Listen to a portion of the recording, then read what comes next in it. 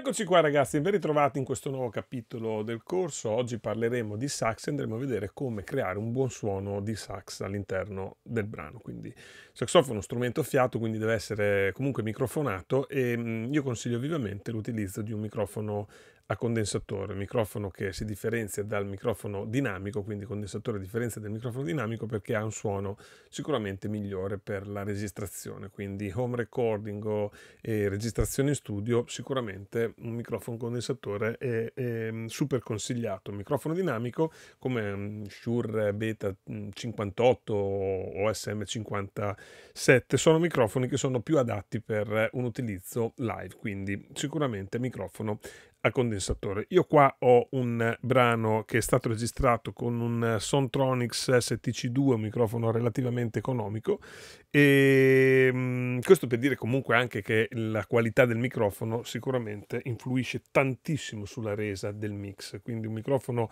che ha eh, una buona qualità già di partenza ci eh, aiuta moltissimo poi quando è ora di mixare, quando andremo a eh, a creare il suono della, nella produzione. Quindi andiamo a sentire qua eh, l'intervento di questo sax che è stato registrato appunto con eh, un microfono condensatore direttamente nella scheda audio senza fare niente, senza co- essere compresso, equalizzato e, e assolutamente niente. Quindi andiamo a sentire un po' com'è, com'è e come andremo a migliorare.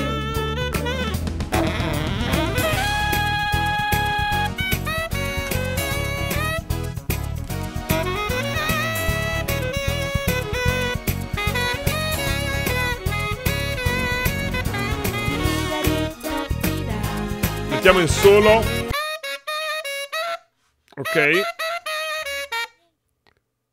Ok. Quindi come prima cosa andiamo a comprimerlo. Quindi Dynamics e, e qui possiamo utilizzare FabFilter C2. Qui voglio comprimerlo abbastanza perché comunque all'interno di una, ehm, una parte del brano che è molto mh, mm, dove ci sono molti strumenti che stanno suonando quindi diciamo che la compressione il suono compresso mi aiuta a tenerlo lì come, come timbrica soprattutto e anche un po' come volume quindi attacco sempre diciamo un pochettino lento per fare in modo che la prima parte del suono rimanga vitale quindi il compressore arriverà successivamente a 20 millisecondi. Ok. Ok ok ok ok, okay non è male così. Accorciamo ancora il tempo di release. Ok Sentite le take diverse. Ok, andiamo a equalizzarlo adesso questo suono, quindi EQ sempre con un eh, equalizzatore della FabFilter, quindi eh, FabFilter Pro Q3. Qui io vado a togliere tutto sotto le frequenze che sono sotto le 150, 200, no, 150 Hz.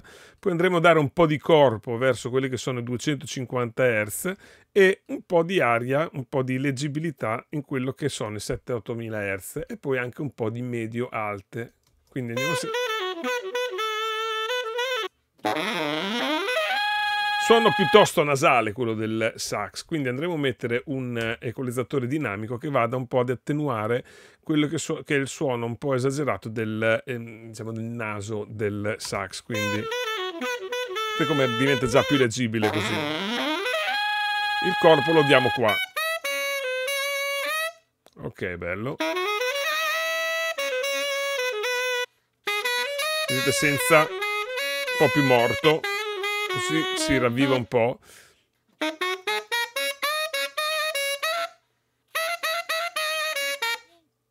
diventa già subito più aggressivo. Per dargli ancora più aggressività, andiamolo a saturare. Quindi, in che modo lo andiamo a saturare?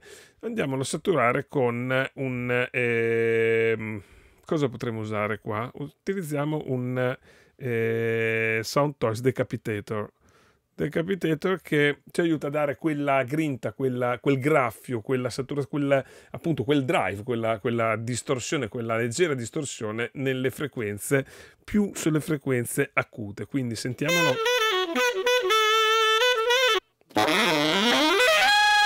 Così è tanto. per far capire che cos'è la distorsione. Sentite. Meno.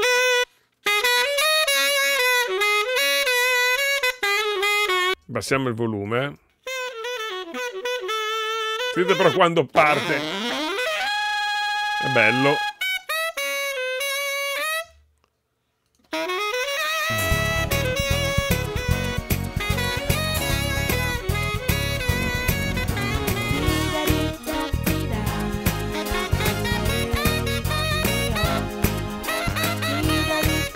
Ok, andiamo a eh, aggiungere due effetti, un delay e un riverbero. Quindi andiamo subito a mettere delay, l'age delay eh, della Waves e quindi qui diciamo che poi a discrezione di quello che vogliamo, del suono che vogliamo ottenere, perché più aumentiamo il volume del delay e più avremo un suono tipo anni 80, un po', eh, un po più tamarrino, diciamo, mentre invece per avere un suono più...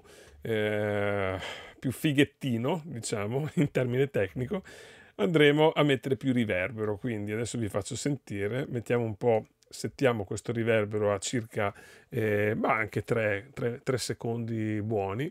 Pre-delay 20 millisecondi va bene, il mix eh, lo vedremo poi quanto riverbero mettere. Andiamo a sentire prima il delay e sentiamo appunto il suono tipico anni 80 del sax.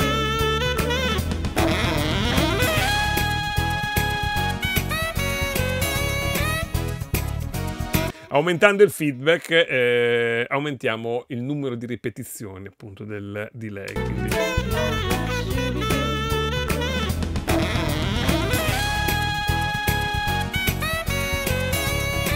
Bello, eh?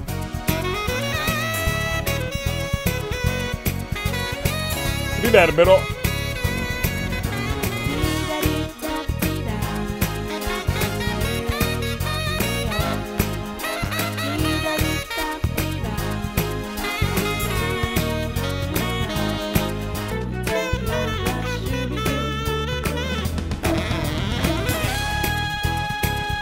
Sentiamo senza delay. No, direi che è decisamente meglio col delay.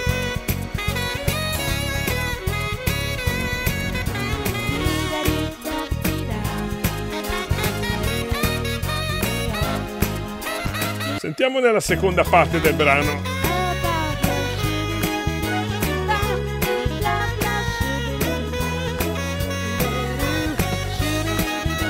Bello.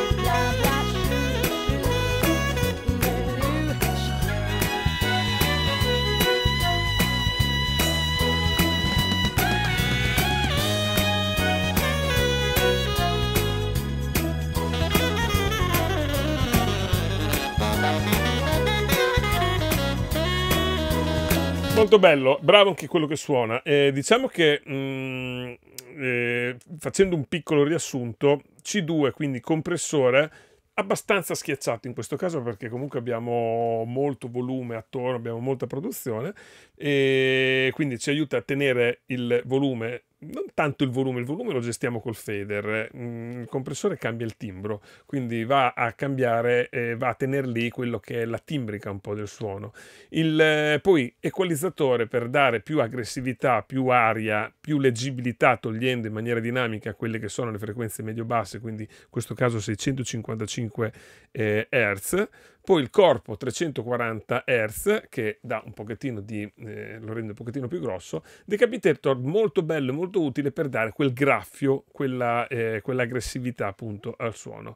Delay e eh, riverbero come se piovesse, nel senso che in questo caso ehm, è molto bello sentire appunto un suono del sax con tanto riverbero di lei, però è una questione di gusti. Lì mi limito a dire semplicemente che sono due effetti che eh, sono da utilizzare, poi la proporzione e il, um, la quantità di, di, di, effetto dipende un po' anche da voi, da quanto, ne vo- da quanto ne volete utilizzare.